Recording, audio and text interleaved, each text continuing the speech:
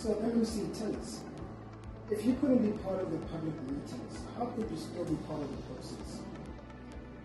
Well, the um, budget is available on the website, the draft budget. It's also available at our public libraries and our customer care centres for you to examine and to make your inputs.